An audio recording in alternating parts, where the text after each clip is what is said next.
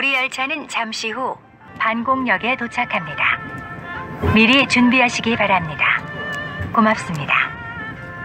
We will soon be arriving at Pangok Station.